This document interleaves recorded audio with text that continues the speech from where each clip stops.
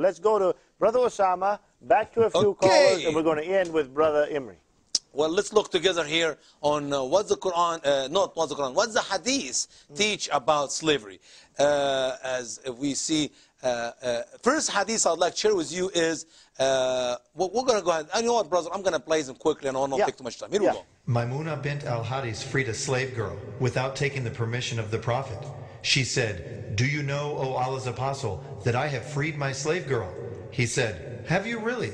She said, Yes. He said, You would have got more reward if you had given her to one of your maternal uncles.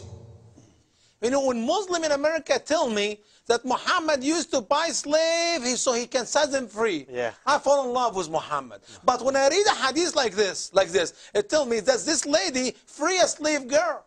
And Muhammad said, have you really did this? Hmm. You get more reward, you get more reward if you can get, if you had given her to one of your uncles. Yeah. That mean, does this encourage slavery? Absolutely not. Next one. We, we don't stick anyone. Obviously, the understanding from this what uh, uh, Muhammad uh, uh, obviously wasn't interested in freeing slaves. Right, Next exactly. one here. Hadith. We're watch together. At the door of Muhammad's room, there was a slave to whom I went and said, Ask permission for me to enter. What do we learn from this hadith? It's internal evidence that in Muhammad's house he had a slave at the door. Can you get me permission from your master Muhammad so I come in? That's just a simple hadith. How Why, about why, next why, one? why would he have slaves in his house? If he won't was freeze freeing them. them If he all? free 'em, yeah. if you freeze it. How about this next one? So obviously Muhammad here, uh, the, the, obvious- he owned slave himself and his house. How about this one? The Prophet had their warriors killed, their offspring and women taken as slaves. What is that?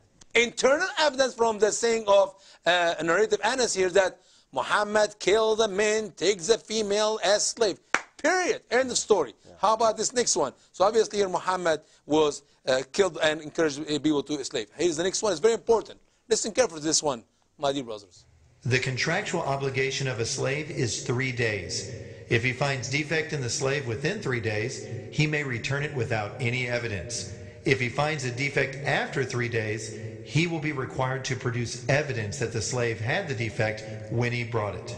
Talking about Sharia, Islamic law.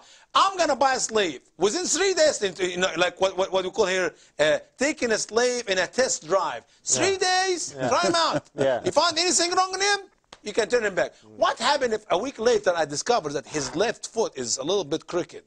You have to prove. You have to prove that the broken foot come happened before you bought it. You're not the one who broke the foot. How about this next one? And we used to sell our slaves and the mothers of our children, and the apostle of Allah was alive among us, and he did not see any wrongdoing in that. Are you following me here? Believers used to sell the slave, including the mothers of their children. So he have a, a female slave, and he have sex with her. He got her pregnant, and he sell her.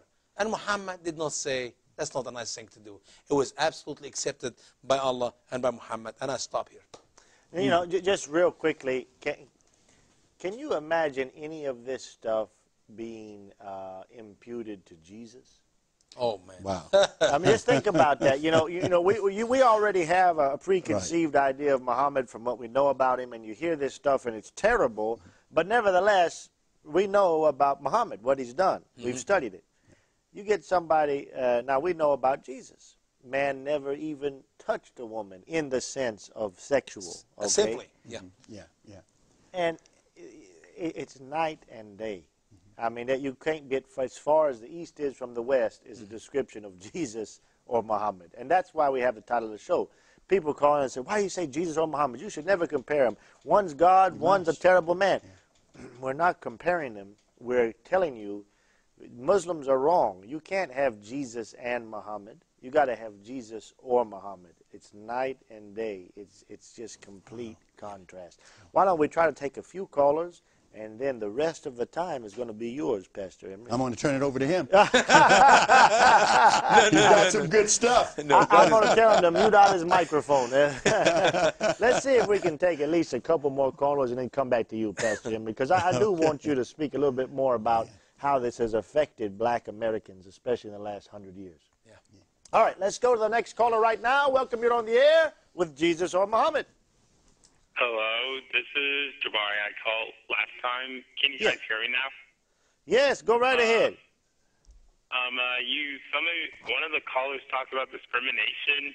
It goes back to something that the Reverend Billy Graham said, and I agree with. Is that the sad thing is in America, the most most um, segre- racially segregated hour of the day is 11 o'clock on 11 o'clock in the morning on Sunday. That's the sad part. Yeah. And what Stephen says is that is uh, is that the that the least racially segregated day is like 6 p.m. on Friday when the when the Muslims go to the mosque and stuff like that. So so also also it's kind of like again like what I said. This stuff you guys are saying needs to be common knowledge because if every black person in America knew this, they would no one would no other black person would ever convert to Islam. Yeah. That's everything. Amen. Yeah. Amen. That's everything I have to say. God bless, Yeah. brother. Thank bless you, you. Jabari. God bless you. Thank you. And, uh, and and he's right, isn't he? He's exactly right. Not just not just on this topic. If people in America in general knows the truth about it, for all the women, Mm-hmm. Yeah. for all the females Yeah. in America Yeah. who believe in Islam, all what they have learned about women in Islam, it is the 180 degrees opposite. If if our audience go on our website, thestraightway.org, and order DVD Women in Islam, you'd be shocked in this one and a half hour DVD the number of lies. Literally, what I do in this presentation is I will show you in the uh, article of Dr. Uh, Ruqayya Abdul Maqsood.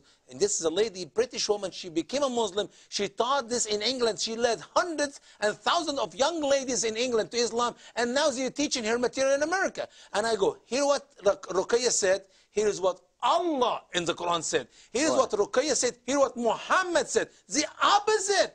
And that's how many women in America are becoming Muslim because they believe a lie. I want to get that DVD, and I bet I'm you telling you. callers do too. Go to thestraightway.org of Brother Osama Dakdok, and I encourage you to support his ministry and at the same time get this vital information that is most needed. Let's take another caller uh, right now. Welcome you on the air with Jesus or Muhammad.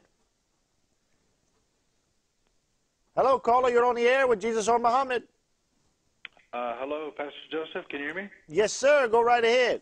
Hi, it's it's Ronnie again. How are you guys? Doing good, Good. Ronnie. Go right ahead, brother.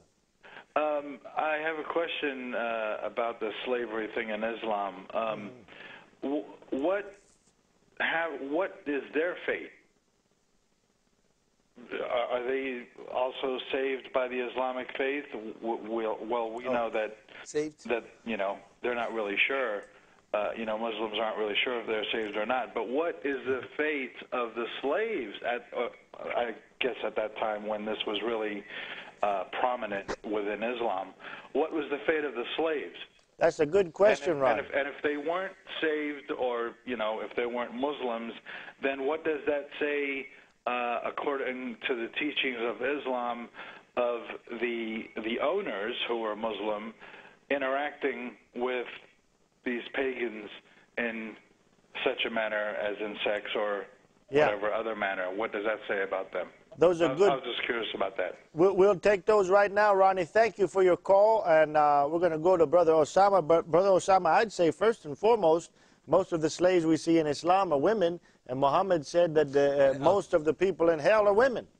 Well, first of all, the word save, the word save does not exist in Islam. I know in America here, I hear so many wonderful Muslim men and women who come to me and say, I was saved four years ago. Excuse me, what? I became a Muslim four years ago. I was saved four years ago. Saved. Not even so many Christians use the statement. There are many Christians by name, they Yeah. don't believe in the word saved, Yeah. sadly. So the word saved does not ex- exist in Islam. Yeah. All Muslim, hear me, hear me good. وَمَا مِنْكُمْ إِلَّا وَارِدْهَا All Muslim will burn in hell for some time. And then Allah will remove from hell those whom He chooses. Uh, very, very, very, that's very important. The only one who is saved in Islam is the jihadist. Uh, لا تحسبن الذين قتلوا في سبيل الله أمواتا بل هم أحيانا عند ربهم يرزقون. Do not consider those who die for the sake of Allah as dead. Nay, they are alive in the, with the Lord receiving their provision. So the only person can be saved, the one who commits suicide, which according to our Bible, they are committing suicide and they will burn in hell. So nobody is saved. And 99, is that like Brother Joseph said, 99% of women Muslim women, 99% of them will burn in hell. So I don't know if the slave have any chance. Yeah. And if we talk about uh, uh, Africans, we know that in uh, goodness, Christianity reached Africa before Islam did. A lot of folks uh, don't understand it. In many cases, uh, in Islamic thought, some want to have a revised history. The Ethiopians fought off the Islamic invaders in the 6th and 7th century about 200 years. Yeah. Till finally they had to succumb. Uh, some of the early church fathers Yeah. were from North, uh, from North Uh, Africa, East Africa. yes. Yeah, Augustine, one of the Augustine is an biggest, the main one. Right. Yeah. So it was jihad that took away uh, Christianity. And there's no such a thing as the word revert.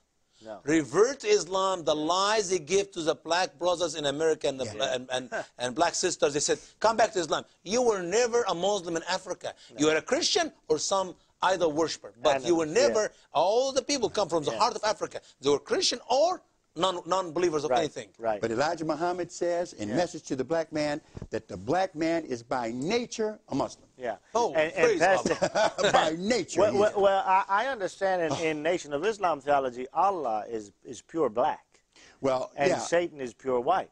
Uh, Well, what happens is uh, uh, Wallace Fard, who Yeah. actually started about 1929, 1930. And by the way, he wasn't black. Right, he Yeah, wasn't. was. He was, was like. He was he Arab. He was. Arab or something, or Yeah. Indonesian. And it- yeah, he came talking, uh, you know, the lost and found tribe of Shabazz. To Detroit. To Detroit, absolutely. Yeah, in 1930. And, and in fact, the white man was created by a god called Yaqub. Yeah, So he, it was an experiment that went the wrong. He evil comes out white. scientist Yaqub. Yeah. In fact, Yeah. Elijah Muhammad uh, said also, and this is why you have the big break Yeah. uh, in uh, the black community with those who left the Nation of Islam to go to World Islam because of the racist nature Yeah. of the Nation of Islam. Yeah. Uh, because the understanding uh, was, Elijah Muhammad said, that the white whites would not be accepted in Islam. That, uh, you know, Mm-hmm. Only you have, Europeans... you have to be black. You Yeah, you have to be black. Uh, so that caused a big split between uh, Wallace's uh, Elijah Muhammad's son and Yeah. Farrakhan. Farrakhan has changed though because he knows he's got to get mainstream to get in the audience. But uh, it's Mm. But, really brother, but you can hear in Louis Farrakhan teach Even when he, he- speaks. he's You can still see the hate. The racism is still the there. The racism all over. Still you there. can see it in Jeremiah Wright. The racism. Racism is the- still it doesn't matter if you are a claim to be a Christian like Jeremiah Wrong or Jeremiah Wright, or if you are Louis Farrakhan. Yeah. The the black It's the hate same- yeah. towards Christianity depend on their hate towards It- white. it's a it's a racist black empowerment uh, philosophy. Well, can you imagine if, if when we look at it, and I don't want to get political here, but if John McCain, Yeah. when he was running against Barack Obama, Yeah. had he went to a church that taught white values, Yeah. Oh. white morality, can, you, can you believe it? Can you believe it? History. The They, they would have disqualified Yeah, him yeah. from the presidency. On the. But, but here Obama can go to a church, Yeah. talks about black values, Yeah. black morality, and not only that, Goddamn but, but- America. Yeah, Yeah. and give an award to Louis Farrakhan, Yeah. the leader of one of the most racist organizations there's ever been, and the media hardly said anything. Yeah. It is amazing, but that lets you know where we are. Yeah. Uh, well, well. Speaking of that, we only have about 12 minutes left in the program, and I know we may have a couple callers left. But, but Pastor Emery, I, I am not. I refuse to allow this program to go by without you sharing a little bit more. Uh, I, I know we have some black Americans out there watching this program. Some of them may very well be Muslim. I'm almost positive we got some. What what would you say to these people in the fact that you know share for your heart as as a as a black American Christian that I mean as a Christian, but but that they can understand and hear you. I mean they hear me, they hear him, they hear white guys, but hear you tell them, look, you've been duped. You know they they, they need to see that from you, and and you have seen it yourself firsthand in in this area. And if they have not saw the first two parts, I beg you, uh, we need them to go and watch the whole yeah. entire and, series. and it's on ABN Sat. But uh, you can you can see all of these programs cached whenever you want on the internet. Internet's at www.abnsat.com. Now I'm going to shut up. And we'll cut Osama's microphone, and Pastor Emery Moss has got to talk. But, but, but I'm here to tell you, the last thing I want to do is cut Osama's microphone. I No, know, no, I I know, I want to know. advise everyone to get a copy of this and quit reading The Son of a Gun, Yeah. Yusuf Ali. but, uh, and Yeah. uh, I have some different versions too. I don't Yeah. have this one though. You will and, so, and he's so humble. I really, I really, Yeah. because he, him. you know, Yeah, yeah. you, you, you watched him. He didn't even want to admit that he did this Yeah. translation. Yeah. Uh, so definitely we need it. But uh, in fact, what he has said is the very information that many uh, African Americans need. They Yeah. need to know that this Islam that you're embracing, this is what it's all about.